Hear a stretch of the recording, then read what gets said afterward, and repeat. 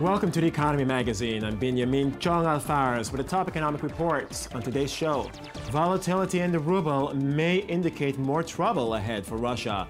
And as China rises internationally, its domestic sorrows may get in the way. First, the headlines. A new plan by the Financial Stability Board forces the world's largest banks to maintain a sizable capital cushion in case of crisis. The world's top 30 banks will have to hold 16 to 20 percent of their risk-weighted assets in equity and cancelable debt. Banks will issue debt that can easily be absorbed to pay losses in times of a crisis to avoid burdening taxpayers. The Basel based board aims to finalize the proposal by the next time G20 leaders meet in 2015. Banks would have to implement the rule by 2019 at the earliest. Russia and China signed an agreement for a major gas supply deal that would make China its biggest gas customer. Under the new gas deal, worth $400 billion, Russia will sell an additional 30 billion cubic meters of gas to China for 30 years. Putin has ordered an eastward shift for the country's economy to avoid isolation following the imposition of Western sanctions over the Ukraine crisis. For China, the increased gas imports allow it to wean itself off its dependence on coal as it embarks on its war on pollution. As China and Korea effectively concluded a free trade agreement on Monday, South Koreans were divided on the prospects of the new deal. South Korean farmers and activists protested against the free trade agreement with China, although business people said they welcomed it. Though the agreement follows two years of negotiations, there remains some skepticism in South Korea about it passing through parliament.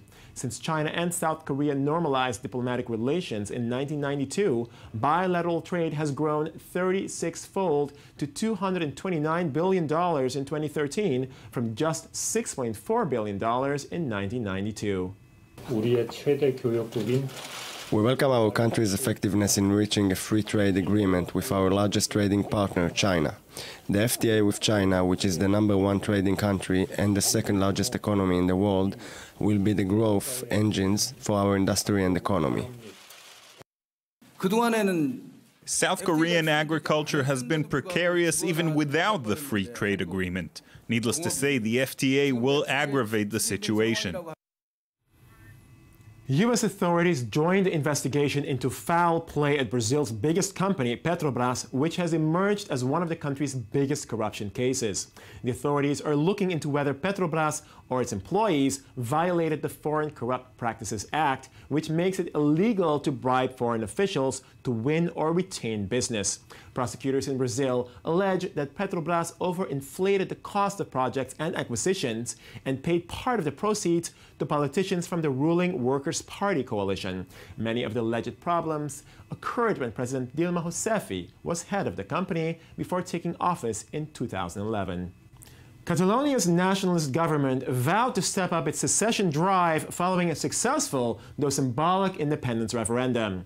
More than 2 million Catalans defied a Spanish court and voted overwhelmingly in favor of independence on Sunday. Catalonia has lately become harder for Madrid to control as scores of towns and villages have unilaterally declared themselves free and sovereign territory. The breakaway movement in Catalonia, which accounts for one-fifth of Spain's economic output, grew in strength during the recent years of deep recession. Today, more than 2 million Catalans have voted on our independence despite the obstacles imposed by the Spanish government that denies us the right to vote for independence. Our journey towards self determination is irreversible. We Basques should be jealous because we should be working to demand the right to vote in the same way they are doing it here. Russia's currency slid to a historic low, losing over 10% in value in the course of last week amid plunging oil prices and the fallout over Ukraine. Though the ruble rebounded slightly on Monday, many fear a fresh financial crisis for Russia. i24 News reporter Dylan Roth tells us why. Last week was rough on Russia's ruble when the currency hit an all time low, shedding 10% of its value from the beginning of the week as oil prices have been falling, a key factor in the Russian economy, and the Ukraine crisis took its toll. The situation has left Russians in a panic. The weakening of the ruble, of course, for Russian citizens, is really sad, putting it mildly. That is, as a rule, a large amount of Russians receive salaries in rubles naturally. Money is devaluing, but groceries and all the rest aren't getting cheaper. That is, crudely speaking, we remain in poverty. The Russian foreign minister suggested that the drop in value could be chalked up to negative speculation and nothing else but the ruble has lost almost 30% against the dollar since the beginning of 2014, and not many are buying the story that Russian authorities are in control of the slide. One of the reasons why the market is very nervous is because market doesn't have good understanding what is the central bank take over the situation. And in a way, the market have impression that maybe central bank itself is in a panic. With oil prices down, Russia has turned to pushing up property taxes and small business taxes to help bolster public finances. As the prices of foreign currencies grow, consumers find that they are spending more and more on food, which is a sector already under embargo imposed by Russia in response to sanctions over the Ukraine crisis. Food spending is up, even as total spending is falling, according to the consumer behavior tracking agency Romir Monitoring. Russia may be in dire straits looking forward. The government has enough money to spend for the next year. But after that, uh, we don't have enough money to support uh, the budget expenses. Under uh, the geopolitical problems we have, we face, uh, there is no possibility, you know, to borrow so much money as like 2% of GDP. Right now, year on year spending adjusted for inflation is down 10%, and vacation travel is down up to 50%, according to Russia's tourism union. There doesn't seem to be a holiday on the horizon for Russia. We move on now to our innovation corner where Natalie Ehrlich makes yet another attempt at explaining how Bitcoin works and why it matters. Well, this is Innovation at I24 News. I'm Natalie Ehrlich. You may have heard of Bitcoin, a new global payment rail. Buttercoin is now building a system making it possible to move between currencies through Bitcoin. The Silicon Valley startup recently went public and enjoys backing from Google Ventures as well as Y Combinator. Now, for further insight, we're joined by the company's CEO, Cedric Dahl. Thank you very much for joining us. First of all, what is a Bitcoin? So, a Bitcoin is a discovery which has enabled something which has never before in the history of mankind been possible. It allows people who do not know each other or trust each other to agree that something is true at the same time. This core innovation is called the blockchain, and it might be the most important thing we've ever seen since the invention of penicillin or the internet. And where does Buttercoin come into all of this? How does it actually fit into this Bitcoin ecosystem? Sure. So Buttercoin is the foundation upon which we're able to build money highways where you can have on and off ramps from one country's currency to another country's currency going through this highway uh, that is Buttercoin. And, and Buttercoin really enables this through the technology of the blockchain, through Bitcoin. So it almost sounds like a money transfer. Can you elaborate? Certainly. So think about the way that money transfers happen today. You go to Western Union, you pay percentages up to 15% to send your own money to the people that you care about. Well, with Bitcoin, you're able to spend pennies instead of percentages to send your own money to your friends, family, and people that you care about. Well, the World Bank estimate that the global remittances are worth over $500 billion, so it is quite sizable and potentially highly lucrative. How is Buttercoin looking to seize on this opportunity? You can think of our plan like a three course meal. You have the appetizer, main course, and dessert. For the appetizer, Buttercoin is building a US based marketplace. Uh, for the main course, we're building marketplaces around the world. Think of these like nodes in a network. And for dessert, we connect the nodes, which enables instant cross border remittances effectively for free. Okay, well, moving now back to Bitcoins, this is a virtual currency. It hasn't been recognized by any nation or backed by any bank. So, what do you say to the skeptics?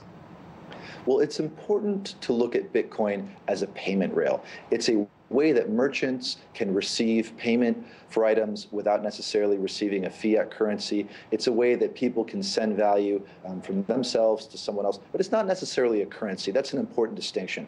Bitcoin's a payment rail. Now, when it comes to the skeptics out there, typically people fear what they don't understand. And initially, Bitcoin was very difficult to understand because the people talking about it were very technical. What's happening now is that people who are able to take these big technical ideas and transform them into understandable scenarios that people can understand where they'll benefit from, um, it's becoming much clearer that Bitcoin is an incredible innovation which has the opportunity to dramatically improve people's lives. And lastly, with your recent launch, what are the next steps for the company? Uh, right now, we're in the appetizer phase of our plans. So we're building a US based marketplace, and next, we'll be building Bitcoin marketplaces around the world. Well, thank you very much for joining us, Buttercoin CEO Cedric Dahl, coming straight to us from Palo Alto in California. Very much appreciate it. Thanks for having me. Is China's growing re regional leadership undermining Obama's pivot? As APEC meets in Beijing for the first time since China's paramount leader Xi Jinping took office, the gathering also boosts China as a regional and world leader. But could China's own economy undermine its ambitions? i24 News reporter Daniel Roth has the report. On the occasion of the Asia Pacific Economic Cooperation Forum, the Chinese premier tried to put the economic slowdown into perspective because although growth is expected not to exceed 7.5% in 2014, the lowest increase in nearly 25 years, this rate is among the highest in the world. Under the new normal conditions, China's economic growth has become more stable and driven by more diverse forces. Some people worry that China's economy will fall further can it climb over the ridge? There are indeed risks, but they are not that scary. Wage costs are becoming higher and productivity is becoming lower, due primarily to the decline in exports. In October, exports rose 11.6% against 15% over the previous month a situation the Chinese government has its eyes on, particularly planning to intensify the reforms initiated by the government. Once the bow is drawn, the arrow cannot be put back in the quiver. We will resolutely deepen reform. To comprehensively deepen reform, we need to stimulate market vitality. Market vitality comes from the people, especially from business leaders and their entrepreneurship. And to achieve its objectives, Xi Jinping is putting a lot of weight on a Chinese presence abroad. It is estimated that China's outbound investment will total over $1.25 trillion over the next 10 years. Meanwhile, over the next five years, China will import over 10 trillion worth of goods, and the number of outbound Chinese tourists will also exceed 500 million. For the Asian Pacific and the world at large, China's development will generate huge opportunities and benefits and hold lasting and infinite promise. The challenge ahead, according to some economists, is that actual Chinese growth could be well below the official forecast, hovering as low as 1 to 2 percent. Until recent months, the industry decline, a victim of high production costs, was offset by major construction. In Beijing, between 2000 and 2013, prices multiplied by three. This encouraged bank lending and encouraged domestic demand, but the government had to intervene to limit local government debt. The result is that, according to many experts, the Chinese real estate bubble is about to burst. And now for a discussion of a variety of reports we collected for you in Media Watch with Daniel Roth.